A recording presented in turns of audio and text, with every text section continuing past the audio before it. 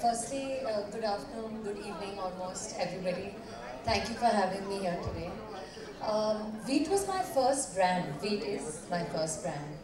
And I still remember my first meeting actually. Um, and I remember them saying to me at the meeting that the very ethos of this brand embodies being the best version of who you are. You know, it's not about changing who you are, but if just removing like a layer of hair from your skin makes you feel more confident, makes you feel more you, I think that that's just wonderful.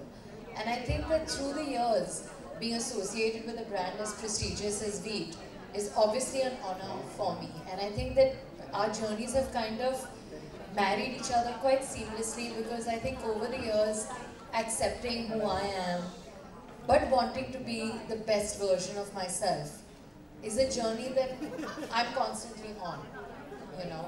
And uh, I think it's the journey that Veet embodies. Be who you are, but push yourself to be the best version of who you are. You know, natural, but also like, you know, just a little bit of effort. If you know you look good, feel good, do good, do it.